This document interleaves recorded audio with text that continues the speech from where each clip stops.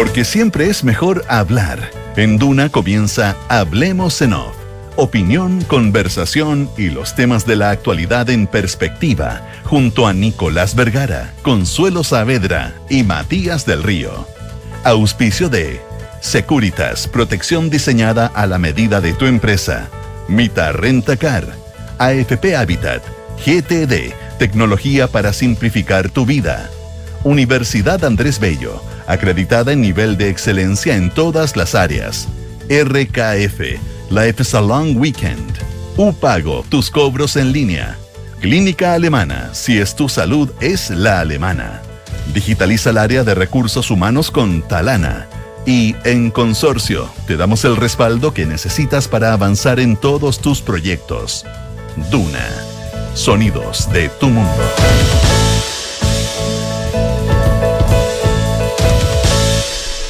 Muy buenos días, ¿cómo están ustedes? Son las 8 de la mañana con 5 minutos.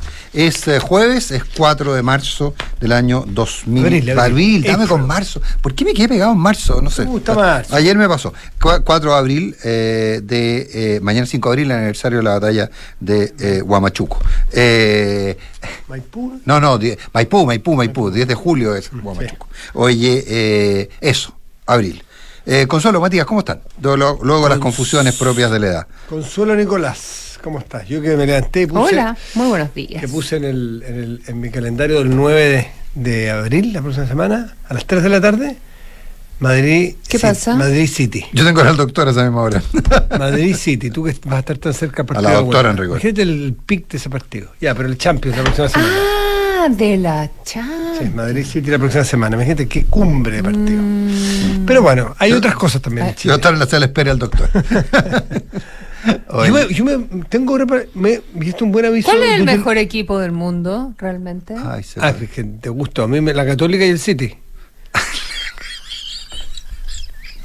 Por historia. Hoy día lo pasamos. me llegué a atorar, me llegué a atorar. se está Ya, muriendo, Me por llegué a atorar, no. me llegué a O sea, atorar. por historia. El City es más nuevo. La Católica por historia no está en su, su mejor momento. El City es Ya, su mejor oye, momento. Consuelo, Ya, no, no. El, Consuelo. el próximo 9 me. El próximo 9 yo me, me vacuno por influenza. ¿Ustedes se vacunaron? No. Yo nunca me he vacunado, va a ser el primer año. Sí, yo me vacuné este año de COVID y de influenza. Toma, Mira. me porté bien. Ya. Una de las cosas que me aportó el COVID es que le perdí el miedo a las vacunas. Yo se lo gané. Eh, yo se lo gané. Ah, no, a las inyecciones me refiero. No, no, la inyección es cero. Claro, sí, cero, sí. cero. Oye, eh, bueno, eh, a ver, eh, pucha, la honestidad. Hablando de que de, de- No, no, no, no se me ocurrió el ¿Cuál es link. No se me ocurrió el link con la La vacuna, pero. La pauta, la Oye, pauta. pero. No, no, pero el punto. eh, yo quería. A ver. eh, la- hablábamos más temprano con Soto, la José Soto decía, hoy hay, hay deshonestidad intelectual en, la, en, la- en este, estos emplazamientos a que se le pida la renuncia a Jadwe. Eh, sí, hay oportunismo político, pero, pero, pero yo, ¿dónde- ¿cuándo, ¿cuándo nos volvimos tan locos? O sea, eh, eh, el- el- yo aquí creo que, que hay que, que poner las cosas en su, en su debido ámbito. Eh, se puede emplazar al Partido Comunista como hizo Maite Orsini, diciéndole que, bueno, suspenda la militancia por lo menos mientras está siendo investigado. Sí, perfecto.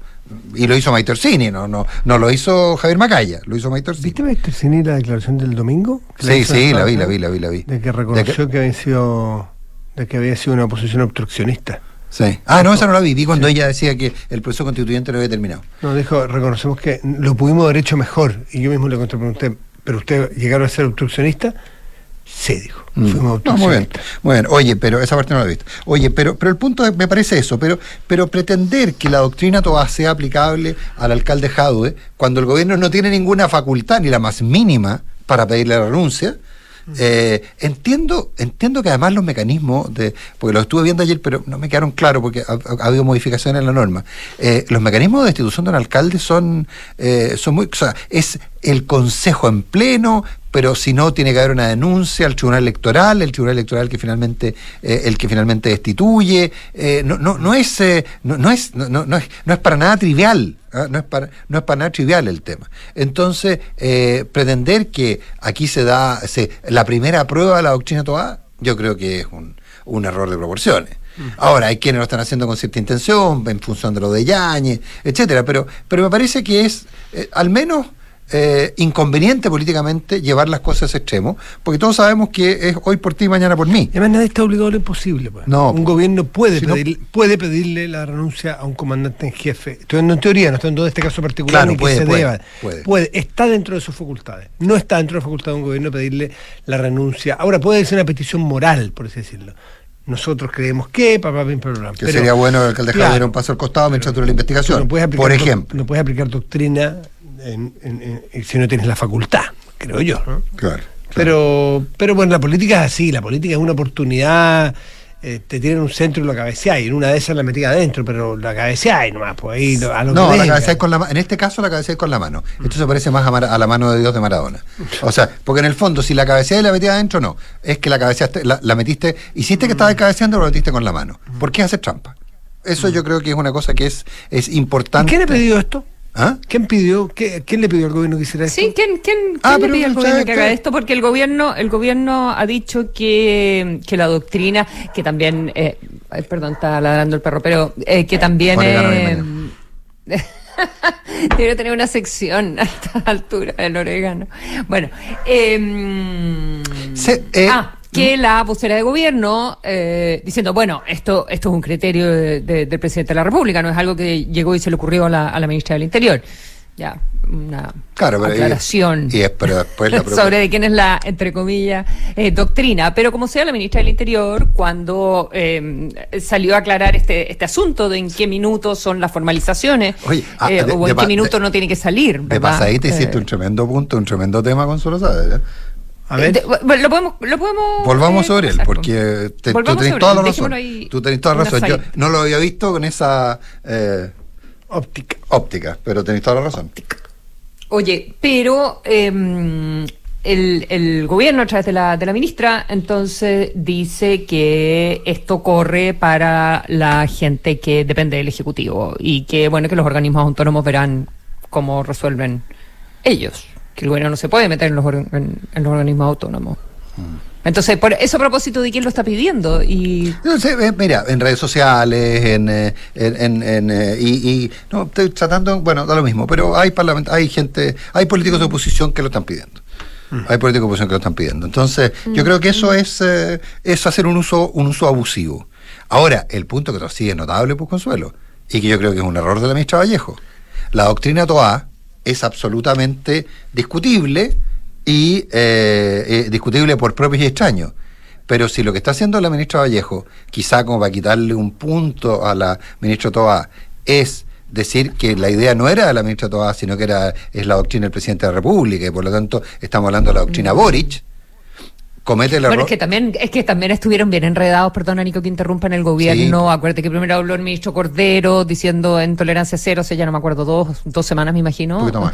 donde, donde dice que, que, que apenas anuncia la formalización, entonces uno esperaría que renuncie. Y además con esta cosa de que también creo que es un poquitito hipócrita decir, no, porque la gente se tiene que concentrar en, su defensa. No, eso es más antiguo que es más antiguo que el hilo negro, eso.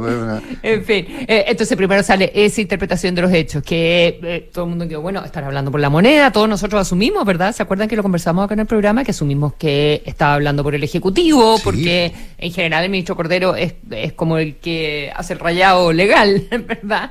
De, de cómo de cómo va No, a un- enfrentar estos eh, pero- asuntos el, pero el gobierno y después salieron otros ministros, salió la ministra Vallejo a decir, bueno, no es tan así, después la ministra toda dijo, no, no, no, cuando se formaliza eh, pero bueno, ahí, ahí vamos a ver qué pasa con Yañez, ¿eh? si sí. Logra atrasar la formalización y seguir en el cargo hasta... Entiendo que- ¿Cuándo entiendo- se le acaba? ¿Octubre, noviembre? No, El, Sí, octubre, octubre, parece, octubre, sí. octubre. El, eh, sí, ent- entiendo que están intentando un par de recursos para postergar la formalización y el salir por la puerta ancha. Lo que entiendo que está clarísimo, volvamos a lo anterior, pero lo que entiendo que está clarísimo en el caso de Yáñez es que, es que Yáñez va a renunciar antes de que, eh, de que se, le, se le pida la renuncia. O sea que el. Pero eso es sutileza y negociación eh, face to face, digamos, cara a cara. O sea, eh, ok, oiga, ¿sabe que mañana le va a pedir la renuncia? ¿Le va a pedir la renuncia? Ok, entonces hoy día renuncio. ¿ah? Pero eh, eso entiendo que, que está relativamente acordado. Yáñez no, Yáñez no está disponible para que le pidan la renuncia, que también sería una opción. O sea, eh, la posición del general Stange en su minuto fue esa, digamos. ¿ah? Pero, pero él no está disponible por según, según, para esa posición, según me han dicho. por lo tanto, ese sería el tema. Oye, Oye, pero. El alcalde Aguilera me puse a revisar ahora, ¿se acuerdan el de San Sí, pues, Ramón? por San Ramón, Ramón Aguilera. Él no renunció cuando lo formalizan. Bueno, pierde la elección después, pero. mm, Eh, claro, no porque ni siquiera lo destituyeron. formalizan, ¿no sé? No, pues. Eh, ¿Está preso? el alcalde Aguilera. ¿Está preso? Sí. Entiendo que seguía preso hace poco. Hasta hace muy poco. Hasta Sí. hace muy poco seguía preso. Capaz que pero- siga. Ah, eh, Oye, pero hay una, hay una variante, no sé si quieren entrarle a eso, de política de los Jadwe, que, que es una esquila política que puede generar muchísimas heridas en el oficialismo. Porque to- todos conocemos el tono con que Jadwe sale de, las, de, las- de sus problemas y sale para adelante. sale con todo, es como cerrar los ojos, apretar los dientes y, y- y al choque, al choque. Y, y- Así fue. oye, y- y ni más ni menos que le pegó un raspón al presidente de la República. O sea, Absolutamente. O sea, de- dejó planteado de manera, si se quiere, tangencial, no directa, pero todos entendimos, que dijo que aquí el presidente de la República también podría estar metido en esta suerte de persecución en contra de él. Primero creer que es persecución, y es lo, primer- es lo, es lo llamativo, pero esperable. Pero lo segundo, decir que esto es con nombre y apellido. Esto viene del Frente Amplio, no viene de la derecha. O sea, Jadwe no estima que en la derecha lo están persiguiendo, lo están persiguiendo en su sector y más específicamente en el Frente Amplio y más específicamente en este presidente del Consejo de Defensa del Estado que ha sido siempre Frente Amplista y que es magallánico.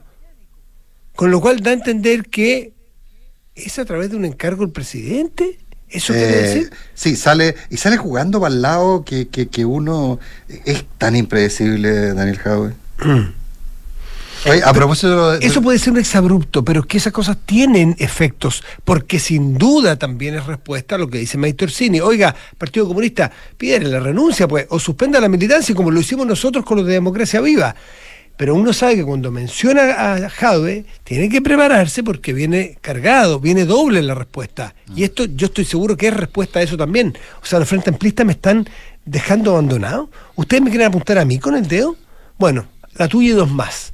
Y no, te voy a, Y no- y no le voy a contestar a Maite Orsini, le voy a contestar al dueño del espectáculo, al dueño del, del partido. al señor Corales. Al señor Coral, le voy a contestar al presidente Boric, con quien tuvo ya su roce en la, presiden- en la, en la candidatura presidencial. No se va con chicas en la respuesta. Y el Partido Comunista eh, se está comprando eh, un eventual problema si es que no le sale judicialmente bien a, a Jadwe todo su, toda su defensa, que hay que respetar lo que él crea que es inocente, y perfecto, la, la presunción ahí está completamente garantizada, pero el Partido Comunista La presunción y la convicción, dice también. Claro, no, No, digo, la presunción la tiene Y- y garantizada. lo mismo que dijo el Partido Comunista. Pero el Partido Comunista Están tiene. convencidos de que es inocente. convencido- ¿no? Ellos tienen la convicción, no, no tienen la y se, presunción. y se- La y- convicción nuestra es que es inocente. Se. Y antes, obvia- obviamente, dicen que es la. Se aferraron a Jadwe. Claro, pues que comunicacionalmente es impecable eso, porque tú, tú tienes la convicción y después y tú mantienes la convicción después de que lo condenan. Y lo que hubo fue una injusticia.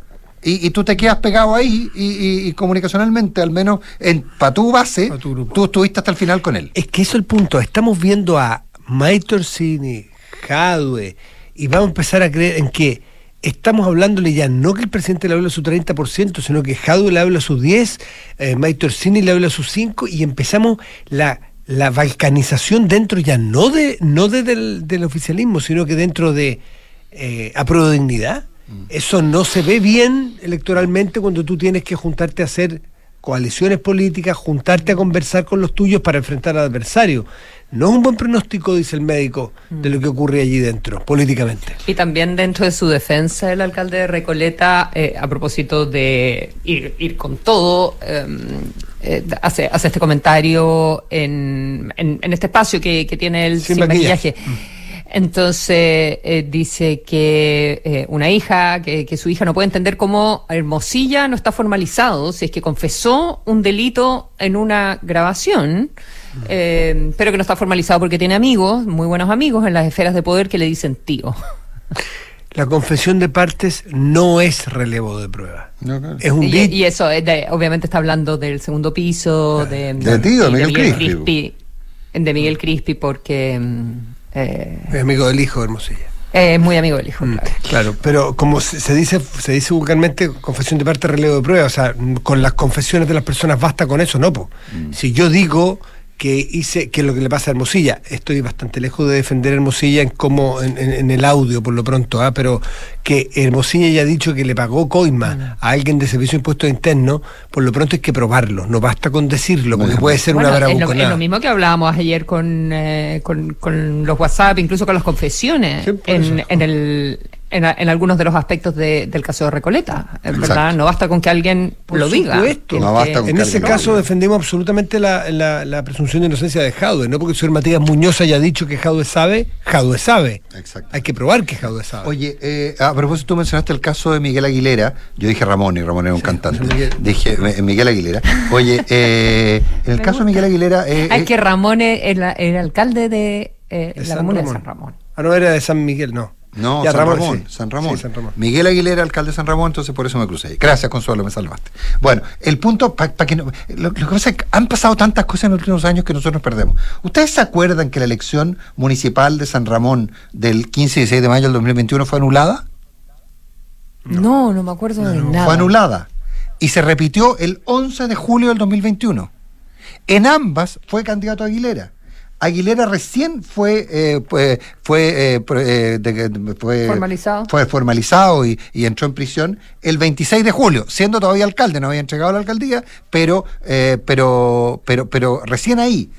Es más, eh, Miguel Aguilera, en la primera vez, la elección que fue anulada por problemas en el padrón a partir de la inscripción incorrecta, ¿te acuerdas que apareció un montón de gente inscrita en la misma casa, eh, eh, etcétera, y se habló de los vínculos narcos? Sí, bueno. Bueno, Aguilera había ganado esa elección con un 23,98% de los votos versus Gustavo Toro, eh, demócrata cristiano, que había obtenido 21,83. Bueno, en la repetición, Aguilera fue de nuevo candidato. Y ahí Aguilera sacó el 24,59 y Toro sacó el 26,21. O sea, estuvo a ahí nada. ya, bueno, y ahí ya había salido el reportaje del informe Ya especial. hacía- había salido el reportaje de informe especial, etcétera, etcétera. Pero no, es que el reportaje. No, ojo, el reportaje de informe especial es de 2018, Consuelo. ¿Tanto atrás? 2018. ¿Seis años? 2018. Así por lo menos dice, dice la sacrosanta web. Ah, es 2018.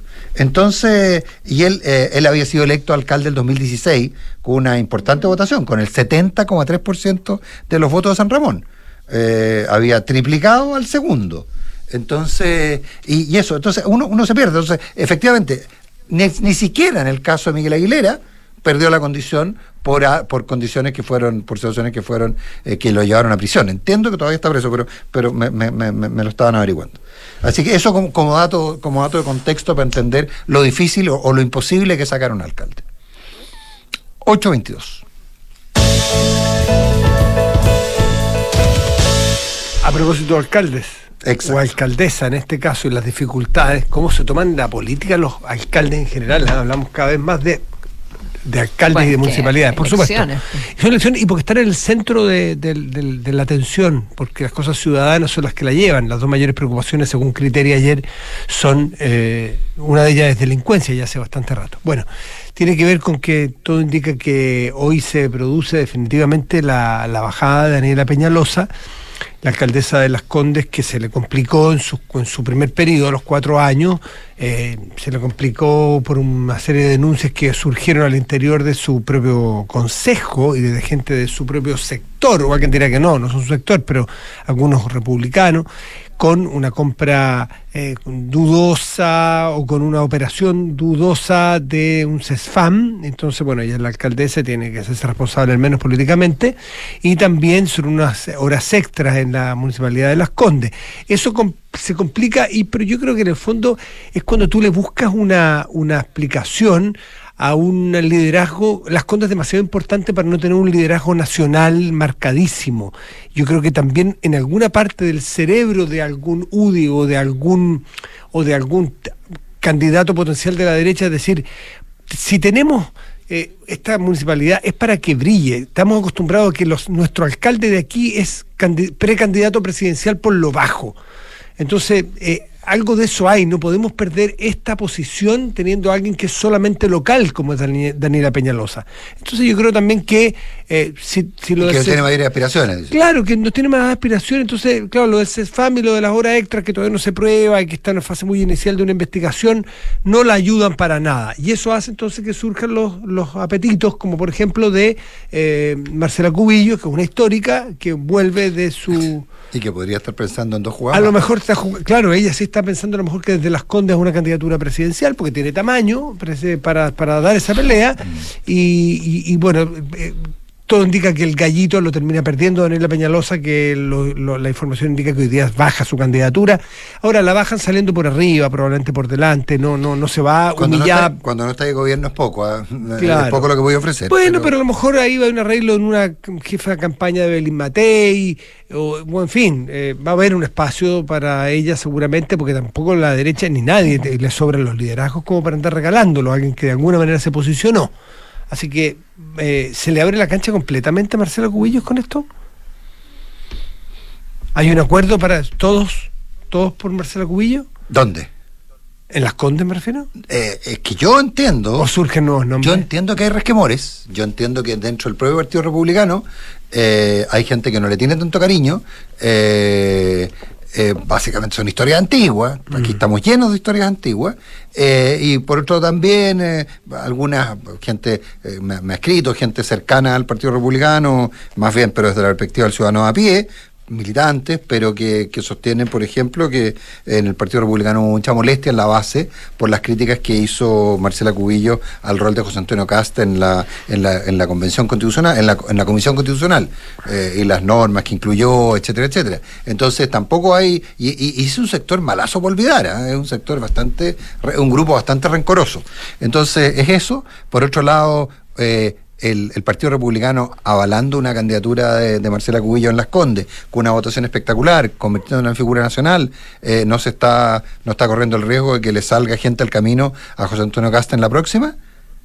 Eh, además, probablemente haciendo una gestión en Las Condes mm, dura de, de, de, resolver temas, de... mm, En la presencia. próxima, después de Evelyn Matei, No, asumiendo que Cas En, la, en esta, en esta, en esta. no, no alcanza, es muy poco tiempo. Consuelo. Es No, no, no, si Gabriel Boric no alcanzaba tampoco. No alcanzaba a juntar la firma. No alcanzaba a juntar la firma, Gabriel Boric. Bueno, en fin. No, no, Ni yo- una posibilidad. tampoco, Bueno, no. ok, ok. Es tu Pero, opinión. pero es una mujer muy joven, también tú tienes que ir sembrando. No, no digo que no darle el respaldo por el miedo que eh, le salga competencia con Santiago Cast, a, o sea, que ella participara ahora en una primaria. Bueno, a pero es que- es que un yo- año de la elección. Consuelo, no estoy, diciendo, no estoy diciendo lo que creo. estoy alcaldesa diciendo lo- de Las Condes, no creo. No estoy diciendo lo que creo, estoy diciendo lo que sé. No creo, y me parece que, y me- pero me parece que es que ella ha, ha sido como bien, el presidente del partido ha sido como bien eh, llano, ¿o no? al, al desembarco. Estuvo acá, no, De- no, él planteó que ellos también tenían gente. ¿eh? Ojo, yo creo que hay ahí un. Pero, pero es un tema de frente interno. Es un tema de frente interno que probablemente se resolver en favor de, de Marcela Cubillo. Sí, sí. Ahora, porque otra polémica más no, no, no, no se da. Si el problema práctico aquí que aquí pasan, aquí quedan raspados, eh, queda raspado eh, el presidente de la UDI, el senador Macaya, varios quedan Es que todos ellos, a mí me con la- parece, eh, que claramente María José Hoffman, la secretaria general de, de la UDI, era mm, la defendía con más ahínco eh, que, que el presidente del partido, creo yo. Pero, pero los dos siempre como, no, ella está resolviendo muy bien sus temas, no era una posición a lo... mm, eh, a lo. Es que. ah, va a apare- o sea. eh, en Recoleta están a punto de formalizarla, entonces no, al alcalde no quiero poner. Sí, claro. Pero no era como un respaldo del tipo. eh, está todo bien, vamos con todo. No, o sea, creo que la UDI. Al, No ha sido como el PC, para decirlo en castellano. no ha sido como el PC, claro, no ha sido como el PC. Para bien o para mal. Ha sido, eh, nos parece que ella está resolviendo muy bien sus temas, un muy buen posicionamiento en la comuna. eh, no- todo esto nos indica que resolviendo de buena manera lo- los Poco- asuntos. poco entusiasmo. En la comisión elec- Sí. Está, eh, los temas internos los está enfrentando de muy buena manera. Entonces, eh, yo desconozco la, mm, la interna, la verdad es que no lo, no lo he reporteado, pero me parece que hace tiempo que le, alguien le, mm, no, no, no la quiere eh, a ella, a la alcaldesa. Sí, no estoy sé si porque no tiene liderazgo nacional, pero le vienen como tratando de hacer la cama, me parece, está lleno de No, señales yo- hace mucho rato y nunca nadie la respalda demasiado. Y creo que es porque siempre quedó la sensación de que Joaquín Lavín eh, la, la puso a dedo. Entonces, eh, y ahora Joaquín Lavín ya no pesa lo que pesaba. No, exactamente. Entonces, creo, así lo veo yo, pero no tengo, no, no tengo la interna. Es como la impresión que me, que me Hoy queda. sería la bajada de Peñalosa.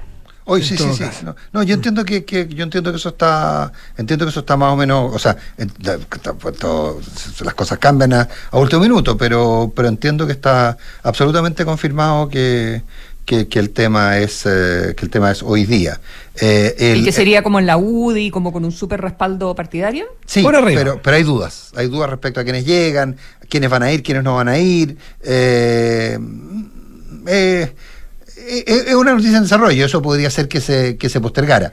Pero, pero que va a ocurrir, va a ocurrir. Va a ocurrir.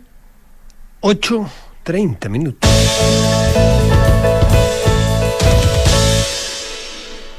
Oye, eh, Israel, esta, este ataque con un dron eh, que termina con la muerte de eh, cinco o seis, me confundo, eh, voluntarios de una organización eh, que busca llevarle, prepararle comida a los refugiados, está generando una, o sea, Aparentemente, yo, yo no sé si tú lo tienes más claro porque yo he visto cosas confusas, Consuelo. La Carla información no es tan buena como allá. en términos de si Israel finalmente con, con, con, eh, ace- acepta que, que fue un error y que eh, eso, yo he visto las dos versiones, pero eh, las cosas pasaron de cierto límite para muchos de quienes inclusive están apoyando a Israel. Creo que se puede convertir en un evento muy desafortunado. Mm. Bueno, hace un rato, Eh, hace un, perdón, un, sí. un comentario breve. No, hace, hace rato, ese es el problema de Israel. Eh, nunca, casi nadie, no diré nadie, eh, le negó a Israel la posibilidad de responder, de defenderse. No olvidemos que el 7 de octubre el atacado fue Israel, para no, para hacer, para rememorar los hechos como fueron. Eh, y, Israel, creo que la gran mayoría del mundo le, le atribuye, le asigna la, la capacidad o, la- el derecho a respuesta. Eh, la pregunta de en adelante es, ¿cuál respuesta? ¿Con qué, qué- cuál es la proporcionalidad de la respuesta que ha tenido? Y ese ha sido el problema más grave que ha tenido Israel, incluso con Estados Unidos a rato, Blinken llamando la atención, eh, pero, pero es el grado de la respuesta y hasta cuándo se responde y en qué modo y forma se responde, es el problema que ha ido dando vuelta de alguna manera, para algunos más, otros menos, la, eh, por así decirlo, la cantidad de gente que lo apoya, ¿no? Eh, ahí está el asunto. Y en este caso, tú dices, Nicolás, quizás se pasó del- de, de la raya, más allá incluso de los ataques que ha tenido a Gaza sin cesar. Es que puede ser un, un error, digamos, pero, Mm, sí. pero un error que se va a ver, son- es un error, no, es una, obviamente que ellos lo consideran un, Un un error, error, sí. está absolutamente reconocido, Ya. ya, Eh, eh, por ejemplo, el, el, el, eh, el- el jefe, el chief of staff de- del ejército de, de Israel, el general Herzi Halevi, dijo el martes fue un error eh, que se produjo por una identificación equivocada, esto era de noche y la guerra es una condición muy compleja. ¿ya? Y eh, el primer ministro Netanyahu dijo que iban a hacer todo lo que estuviera en sus manos para que esto no sucediera nuevamente. Claro, Estamos pasaron, hablando pasaron una línea. son siete personas las que murieron, son siete personas las que murieron. Ahora uno dice, eh, ya han muerto 32.000, ya de los cuales eh, evidentemente no todos son militantes de Hamas, ya. Eh, de una población de 2,2 millones de, personas. Eh, no es primera vez que ocurre un, eh, un ataque equivocado, pero este era un, un grupo. incluso ha habido asuntos en que eventos en que mm, israelíes, o sea, soldados de Israel le disparan a soldados de Israel por equivocación, pero eh, está lleno de, de, problemas, digamos. Es muy difícil reportear esto en terreno, la prensa internacional se queja mucho porque no pueden entrar, fundamentalmente. Eh, pero esta es una eh, agrupación humanitaria que es fundada por un chef español-estadounidense mm. muy conocido, que entonces tiene toda esta parte de... José Andrés. En Haití eh, José Andrés, exactamente, mm. que eh, empezaba a trabajar en Haití, ya con, estas operaciones. Él tiene un montón de restaurantes súper conocidos, es una figura mediática, hizo clase mm, en Harvard con Ferran Adrià, que sé yo, viene como de esa, de esa línea, ¿ya? Y desde el terremoto de Haití del 2010 empezó a trabajar en eh, proyectos humanitarios. Y eh, tenían un convenio, eh, o sea, tenían una autorización explícita y ya habían hecho desembarcos de comida, ya eh, estaban entrando por, estaban entrando por mar, ya era segundo desembarco de comida que hacían. El ejército de Israel liberó videos donde salen coordinaciones con los militares de Israel, sí, tienen permiso para avanzar, el barco, tal y tal. Esto además respaldado por, creo que son los, los Emiratos, ya, que, o sea, entonces, era como toda una, una coordinación que es bien insólito que haya ocurrido este, este error. Hay otros que creen que no es un error, mm. Mm, no sé, eh, porque mm, en general, al final, cuando están en terreno los equipos de ayuda humanitaria, eh, siempre trabajan con choferes, ya con choferes que son locales y eh, a veces con guardias, con guardias que son que están armados y que pueden tener vínculos con Hamas también. Entonces, hay algunos que dicen, bueno, esto en realidad quizá no, no fue un error. Pero bueno, así lo, así lo ha catalogado. La pregunta es qué va, cuál va a ser la reacción internacional. Estados Unidos ha sido muy cauto, siempre dice, por favor, eh, con más cuidado, eh, ¿verdad? Tienen que tener más cuidado, más cuidado. Nunca, esto ha ido avanzando un poquitito en los llamados alto al fuego. Ah, recordemos, perdón, me acabo de acordar, Israel, a propósito de errores, mató a tres, por equivocación evidentemente, a tres de los eh, de los secuestrados. De los rehenes. De los rehenes en diciembre. Sí. Entonces, imagínate lo complicado. Y esto contrasta, para terminar, con, eh, con lo que pasó en Siria. ¿Ya? Que pasó un poco más colado. La embajada de Irán. En la embajada de Irán en Siria, mm. exactamente, mm. donde eh, matan a un montón de, de generales eh, que tienen que ver con los apoyos internacionales a Hezbollah en el Líbano, eh, por ejemplo, y ahí fue, pero ya un dron con una precisión microscópica, mucho más fácil, obviamente, una embajada. Mm. el blanco es mucho más claro. el blanco es mucho más, hay que ver... claro con una inteligencia que funciona, pero ¿cómo va a reaccionar Irán? Que evidentemente no quiere escalar a una guerra full con Estados Unidos, ni mucho menos, pero eh, eso más la disminución de apoyo a propósito de lo que pasó con, eh, hay que ver también, la ayuda humanitaria, con los trabajadores. ¿Cómo reacciona Irán? Obvio. ¿Cómo reacciona Estados Unidos? ¿Cómo reacciona la comunidad internacional? Pero también cómo reacciona Israel. Porque esto, vaya a saber uno para dónde salta puede significar un punto de inflexión para el propio ataque de Israel, porque Israel de alguna manera se puede sentir o estar sintiéndose, el, régimen de Netanyahu, sintiéndose preso de su misma intensidad y no saber cómo salir de ahí. Es como cuando uno le baja una rabieta y no sabe cómo salir de ahí. Eh, y, cuando si el, si el régimen de Netanyahu se siente preso de sí mismo y de sus propios grupos. Recordemos que los grupos que, que, apoyan políticamente el régimen actual de Israel es particularmente duro. Eh, eh, alguien dirá, eh, pensando en las teorías del complot, que buscaron este error para poder salir y generar el punto de inflexión. A lo mejor hay que ver cómo se comporta Israel de aquí en adelante, si esto es un punto de retroceso a, a ablandar un poco y empezar a bajar la intensidad de los ataques a Gaza eh, es una hipótesis, ¿eh? ¿no? es que yo haya leído que... 8 de la mañana con 37 minutos, menciones, don Matías. Estamos pasados. Cada compra se transforma en un árbol, por cada compra RKF se plantará un árbol para hacer crecer juntos la naturaleza. Descubren más de esta iniciativa en rkflife.cl.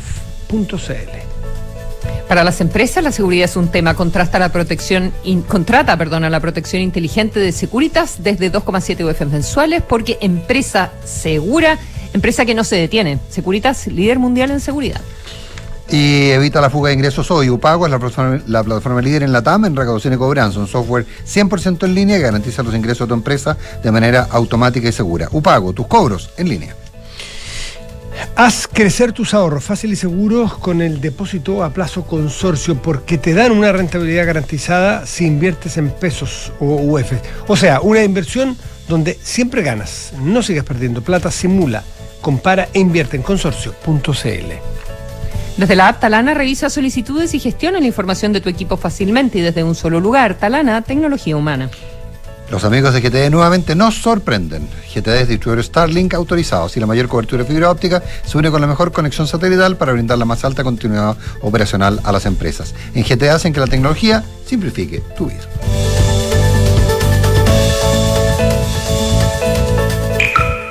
La forma más efectiva de hacer algo es haciéndolo. En Duna, la aviadora estadounidense Amelia Earhart. Duna, voces, inspiración y sonidos de tu mundo. ¿Problemas con la fuga de ingresos? ¿Costos elevados en sistemas de recaudación ineficientes? ¿Falta de trazabilidad financiera? Entonces UPago es tu partner tecnológico, los número uno en recaudación y cobranza en la TAM. Su software 100% en línea es la herramienta definitiva para el aseguramiento de ingresos, recaudación automatizada, pagos de personas y empresas, recuperación de deudas, notificaciones inteligentes y mucho más. upago.cl, tus cobros en línea. Ay, estoy feliz con mi auto nuevo. ¿Cuál te compraste? No, nada de comprar aquí. Me suscribí al Renting Mitago. ¿Suscri qué? En el Renting Mitago, pues. Mira, pago en mi cuota mensual la patente, el seguro, las mantenciones, acumulo millas y tengo arriendo gratis en Mita. ¿Todo incluido en la cuota? Tal cual. Y además, prepagué un monto y rebajé mi cuota mensual. ¿Eh? ¿Cuánto gastáis por tu auto al mes? Así que ya sabéis, suscríbete, maneja y... Suscríbete tú también en mitago.cl. Somos GTD y sabemos que cada empresa, sin importar su tamaño, tiene múltiples necesidades. Por eso, diseñamos soluciones que se adapten a sus desafíos y, por sobre todo, que nos permitan poner nuestra tecnología al servicio de cada una de sus metas. En GTD, creemos en las empresas y las acompañamos día a día, porque en el camino hacia el éxito vamos juntos. GTD. Hacemos que la tecnología simplifique tu vida. Desde ahora, cada camisa Rockford filtra el aire y lo purifica. Cada pantalón produce oxígeno que nos da vida. Cada uno de nuestros zapatos ayuda a prevenir la erosión del suelo. Cada accesorio RKF ofrece refugio a millones de seres vivos. Porque desde ahora, cada compra RKF es un árbol. Junto a One Tree Planted, plantamos un árbol por cada compra RKF que se haga, para que juntos hagamos crecer la naturaleza. Descubre más en rkflife.com. RKF, Life is a Long Weekend. ¿Qué es lo más importante para que una pyme siga adelante? ¿El gerente general? No. ¿El personal? No.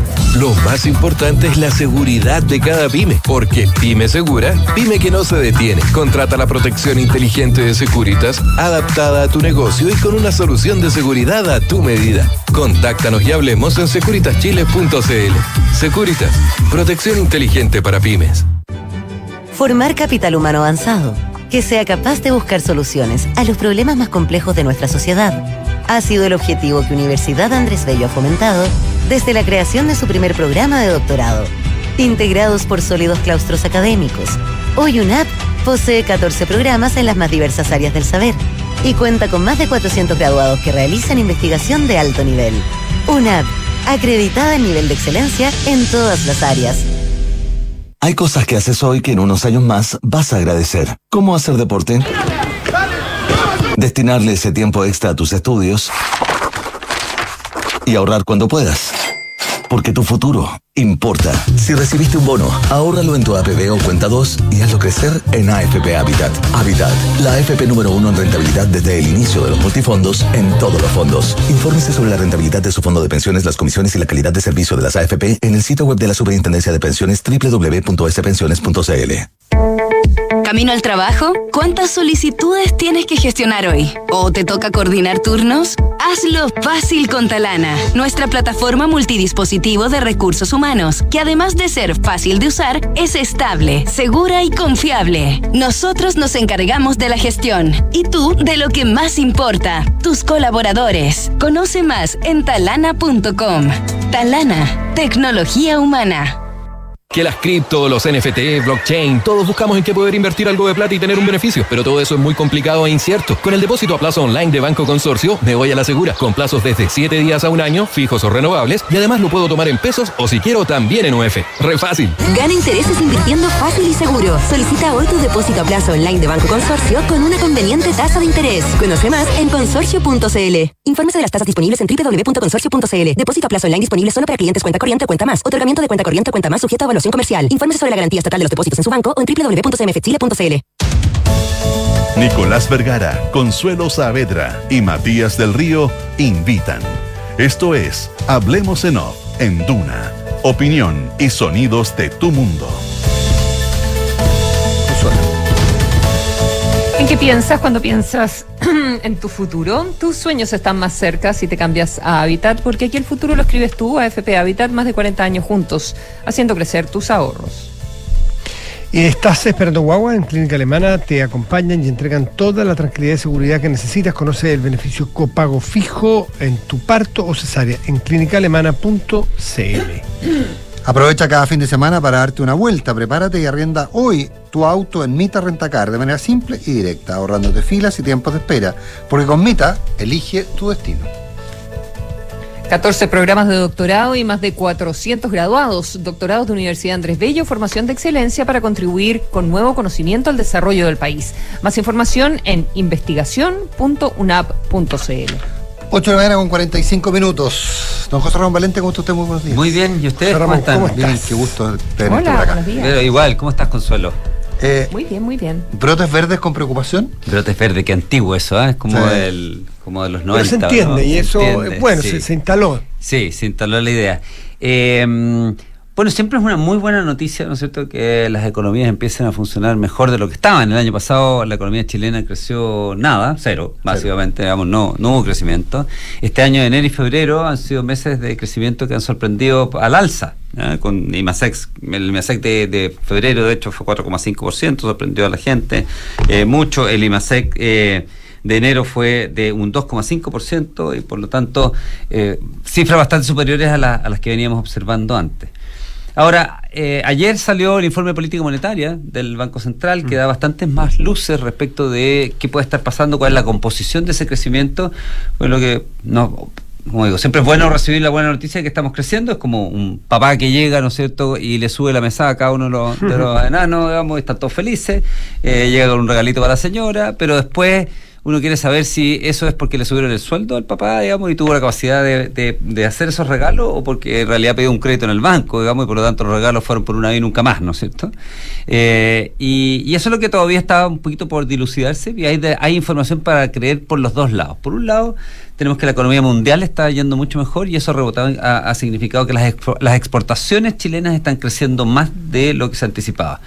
Eso significa que nosotros chilenos recibimos más plata. Exportamos a mejores precios nuestra cereza, exportamos a mejores precios el, el cobre y eso significa ingresos para Chile. Eso es como que efectivamente te hubieran subido el sueldo y es un poquito, si esa situación de la economía internacional se mantiene, bueno, es más permanente, es real. Efectivamente nosotros somos un poquito más ricos y el bienestar que estamos observando tiene que ver con un aumento de riqueza producto de que vendemos mejor los productos que producimos. Pero al mismo tiempo tenemos información que ha dado el Ministerio de Hacienda eh, de que el gasto público subió mucho en enero y febrero. El gasto público eh, para el año completo, la proyección, la- lo que está en la ley de presupuestos es que va a subir un, en el informe de finanzas públicas, el último, digamos, es que va a subir un 5,6% para el año entero, 5,6% real. O sea, con una proyección de crecimiento que tiene Hacienda de 2,5%, va a subir el doble el gasto público de lo que crece la economía que ya era bastante exigente, ¿no es como bastante, es como, es como tratar de meterle un poquito de carbón a la máquina a ver si el gasto público puede tirar el crecimiento, porque está subiendo el doble del crecimiento de la economía. En enero subió 7,5% real y en febrero subió 15% real. Entonces queda la duda de si este crecimiento que observamos, este bienestar, este, ¿no es cierto?, aumento de mesada, digamos, tiene que ver también con que el, básicamente el gasto público creció mucho enero y febrero, cosa que no va a poder repetirse en el resto del año, eh, porque nosotros la previsión para el año completo es de 5,6%. Ahora, Entonces, el- estamos ahí en- en- en- entre la buena noticia de las exportaciones, la no tan buena noticia que en realidad esto puede ser una cosa muy transitoria que tiene que ver con una ejecución ¿Cómo muy acelerada probar? del gasto. ¿Cómo se puede probar eso? ¿Cómo, ¿Cuándo vamos a tener respuesta a tu duda? ¿Solo el tiempo lo dirá? Solo el tiempo lo dirá, porque en el fondo, como te decía antes, el gasto público obviamente no puede crecer, a menos que seamos muy responsables, al 15% a- eh, al año. digamos. Está proyectado que crezca, que crezca al 5%, lo cual ya es, ¿no es cierto?, un crecimiento bastante alto. Y por lo tanto, en, los- en lo- en la segunda parte del año, definitivamente, nosotros vamos a tener crecimientos o, o ceros del gasto público para poder compensar el alto crecimiento que tuvo al principio. Y vamos a ver si la economía sostiene, digamos, sus altas tasas de crecimiento que ha tenido hasta ahora. Ah, recordemos, son altas tasas de crecimiento viniendo desde cero. O sea, igual la proyección de crecimiento para el año está en torno al 2 y 3%, así la subió el Banco Central. Ahora, es una buena noticia porque el Banco Central la tenía antes entre 1,5 y 2 y 2,25, algo por ahí, o sea, subió casi un punto la proyección de crecimiento, lo cual le, le- le- le da el punto al Ministerio de Hacienda, que era el único que el año pasado dijo eh, la economía chilena va a crecer 2,5% en 2024. Las proyecciones internacionales, Fondo Monetario, las proyecciones de privados, las proyecciones de los bancos internacionales como JP Morgan hablaban de crecimiento cercano al 1,9, 1,8, 2% en ese, en ese rango. Pareciera, ¿no que nos encaminamos a un año de crecimiento del 2,5%, que no es como para destapar champán, digamos, pero que es mucho mejor que cero. Y además, ¿no es cierto?, cuadra con las proyecciones que el ministro Marcel dio hacia fines del año pasado. Mm. Eh, ¿hace, ¿Hace el IPOM, eso sí, un, un recorte de las expectativas de crecimiento para los dos siguientes años? ¿Eso, eso es así? Eh, y cuando uno encuentra estos resultados que, que son sorprendentes, tú dijiste, bueno, eh, enero y febrero nos sorprendieron con, con el IMASEC, ahora estamos viendo cuál- cuáles son los fundamentos, ¿verdad? Eh, ¿Podrían venir otras sorpresas entonces que, que de alguna manera eh, permitieran eh, tener mejores números para el 25 y el 26? Consuelo, tu pregunta es, ¿no es cierto? Está, está- está muy buena porque efectivamente hay un recorte de las proyecciones para el 25, se mantienen las proyecciones para el 26 eh, y tiene ah, se ver mantienen las del 26, Sí. ya.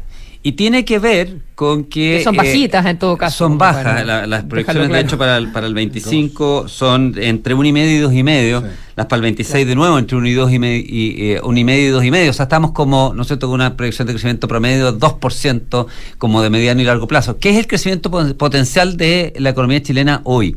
Recordemos que hace 10 años el crecimiento potencial de la economía chilena estaba en torno al 5%, o sea, la economía no tiene capacidad, no tiene motor, ¿no es cierto?, para andar más rápido que 2%.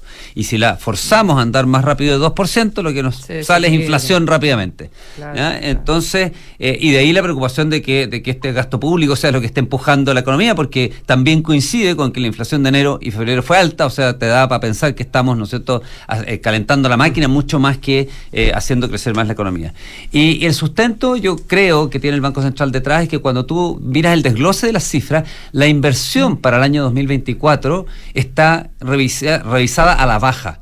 Se suponía que la inversión iba a crecer algo este 2024 y se revisa la baja con una caída de 2% para la inversión en el 2024, de acuerdo al IPOM que publicó el Banco Central ayer. Entonces, al final, es la, la- el- la inversión es lo que permite el aumento de que la capacidad productiva del país. El resto, ¿no es cierto?, es el gasto que nosotros le ponemos. Pero si no somos capaces de producir más, obviamente ese gasto lo que hace es presionar una capacidad de producción dada y lo que significa es básicamente más inflación a la larga, digamos, y no, ¿no es cierto?, más bienestar. Mm. O sea, esas son las medidas que hay, hay, hay que tomar, digamos, me- medidas que eh, te, te, te entreguen como, como cimientos, ¿verdad? Eh, más, más, más potentes para que, bueno, que el, que el gasto no te provoque esta inflación. Estaba pensando si, eh, no, no miré ese detalle, si en el IPOM se incorpora eh, todo el asunto del litio, por ejemplo. Estoy pensando en cosas que pudiesen ser... Cambiar. eh, Claro, mira, la, la preocupación de las autoridades, Consuelo, en general, cuando estás en el gobierno, ¿no es cierto? Tienes que preocuparte de dos cosas. Uno, de manejar bien el ciclo eh, que es en el fondo las variables de corto plazo. Tú dices, oye, tengo una inflación alta que es transitoria, tengo una economía mundial que transitoriamente está, le está yendo mal, eh, tengo factores transitorios cíclicos, ¿ya? que es lo que se llama cíclicos, digamos, y tienes que eh, saber, digamos, si empujar el gasto o no empujar el gasto, si subir la tasa de interés o no, en el, en el caso del Banco Central, ese es el manejo de corto plazo. Y después tienes toda tu agenda de largo plazo, que es, ¿no es cierto?, lo que hemos hablado otras veces, productividad, permisología, Claro. bajas de, eh, disminuir los niveles de incertidumbre, generar un clima institucional más favorable para la inversión y el crecimiento, etcétera. Eh, esas son las variables que, te- que, que permiten que este 2% que tenemos hoy día de crecimiento potencial podamos empujarlo a 3, a 4. ¿ya? Eh, en eso no hemos hecho mucho, digamos. entonces no podemos pensar en que por lo menos en los próximos meses vamos a pasar, no sé, una economía que tiene potencialmente la capacidad de crecer más de 2%. Eh, hasta que no nos pongamos, digamos, con una agenda de verdad, ¿no es cierto?, de crecimiento a largo plazo que para empujar esas variables. El manejo cíclico de la economía chilena desde el lado de Hacienda con el gasto público, desde el lado del Banco Central con su manejo de tasas de interés ha sido bueno, ha sido un buen manejo del ciclo. El manejo de eh, hacer que esta economía con reformas estructurales, con todas estas cosas que mencioné antes, vuelva a crecer a tasas de- superiores al 2%, no ha sido bueno. Eh, no hay ningún elemento como a pensar que uno pudiese eh, cambiar el destino de Chile en los próximos meses respecto a ese tema. Mm. Ahora, el, eh, eh, por un dato, alguien me decía, pero ¿cómo el, cómo el gasto crece el doble? Yo entiendo que cre- crece el doble que la expectativa de crecimiento. Yo entiendo que había subeje- eh, subejecución el año anterior. Yo entiendo que hubo, hubo que eso es lo que, lo que permitió, entre comillas, esta inyección de consumo en el primer trimestre, digamos. Una, una, Eh, de una subejecución en la parte de, de gasto en eh, inversión en capital, no el gasto corriente. De hecho, el, eh, Pero el esa partida, déficit, co- esa partida, ¿cómo queda? el déficit fiscal, o sea, el gasto público terminó creciendo el año pasado un 1% y la proyección era que iba a crecer un 0,7%. O sea, el gasto público Creció digamos, más. creció más que lo proyectado, no menos que lo proyectado. La partida quedó subejecutada esa parte de, de- de inversión. Pero es una, es una composición dentro del gasto. Claro, porque, porque lo, lo importante es el punto que tú planteabas de cuando la gente dice, a ver, estoy en una coyuntura negativa, ¿tengo para navegarla o no tengo para navegarla? ¿Ah? Y, y- y- y da- daría la impresión de que hoy día no están los fundamentos para navegarla, pero se está navegando. ¿Puedo, ¿puedo interpretar eso de lo que tú dices? No, como te digo antes, yo creo que el, eh, tanto de Hacienda como el Banco Central han hecho una, han navegado bien la tormenta, digamos. Pero tienen el objetivo de llegar a América y, y por lo tanto es mucho más que capear la tormenta que está, ¿no es cierto?, viendo Claro, en el minuto. Y el objetivo de llegar a América, la verdad que tenéis que navegar hacia el este, digamos, hacia el oeste, ¿no es cierto? La geografía es un tema. Depende de ¿sí? dónde parta. Hacia el oeste, Depende claro. de dónde venga. Eh, sí, de- eh, pues se supone que venían de Europa, pero hacia el oeste. Eh, y estáis navegando hacia el sur, hacia el norte, hacia cualquier lado, pero no estáis. Estáis capeando bien la tormenta, pero no estáis llegando, eh, digamos, necesariamente a destino donde quieres, quieres llegar. digamos. Interrogación entonces para ti los brotes verdes, veo. Te generan dudas, no, no. Hay, hay, hay elementos, como te decía, exportaciones, elementos reales, y, el, y el, el otro un elemento muy transitorio que se va a desvanecer, y por lo tanto, si es eso lo que da los brotes verdes, digamos, podrían ser simplemente quedarse en brotes. En brotes. Sí, pues. En brotes. Ahora, En brotes. lo- lo- brotes que no florecen. ¿no pero los brotes- bueno, claro. José Ramón, ¿y cuánto si la economía se basa, además de la inversión y lo estructural, también en los estados de ánimos que influyen, estos brotes pueden ayudar algo en eso? En que, en que la gente tenga, eh, en que, no sé, vemos aquí, Expectativa. eh, eh, el, aquí El edificio al lado. el edificio al lado que lleva como cinco años en un hoyo vacío, Ujú. eh, con el menos ocho quedó, y nunca más nadie puso un saco de cemento. Perdona, pero ahí déjame meter, déjame agregar, eh, Matías, a eso que tienes el problema de si las tasas eh, bajan más lento, eh, eh, también eso no te reactiva la construcción. Tal cual. Mira, la Consuelo ha aprendido mucha economía. Ay, a que, través del que tiempo. ha aprendido, ha mucho con- en, en este segmento de los días jueves. La Consuelo hizo un MBA en una de las mejores eh, universidades del mundo, así que, Eh, por favor, Ya, bueno, perdamos tiempo en Pero está bien. Vamos- tal, vamos cual tú, tal cual tú dices. Efectivamente, si esta es una máquina que, ¿no es cierto?, puede correr a 2% al año y tú la fuerzas a correr un poco más eh, y eso te genera los brotes verdes, esos brotes verdes van a venir acompañados de inflación, la inflación va a venir acompañada de la decisión del Banco Central de bajar mucho más lentamente la tasa de interés y por lo tanto, digamos, eso te genera un freno a la potencial eh, actividad futura. Eh, y por otro lado, eh, la información que estamos viendo, repito ahí es lo mismo, digamos, ¿dónde uno podría ver, ¿no es cierto?, esos animal spirits que, que quieres, ¿no es cierto?, mencionar tú, digamos, donde la gente en base a expectativas toma decisiones, digamos, más que en base a, a, a- a- La a, ¿no es realidad. cierto?, a las a, a datos, digamos, lo podrías ver en cómo va la evolución de la inversión. Esas son decisiones privadas, principalmente, el 80% de la inversión es privada, decisiones privadas, ¿no es cierto?, que se van materializando. Y lo que nos está informando ayer el Banco Central es que la inversión viene a la baja, no al alza. Una mala noticia. Y que no tiene elementos para, para proyectar otra cosa. Así es. Don José Ramón Valente, nos vemos en 20 días más. ¿Tanto? ¿Cómo? ¿No era semanal esto? Cuando tú quieras, Cuando tú quieras. quieras. Tú sabes, que- tú sabes que cuentas con mi voto. Claro. Tienes que conseguir dos más. Eh, Que estén muy bien. Siempre un agrado estar con Que ustedes tengan acá. un muy buen resto de día. nos Chao, chao. Nos vemos.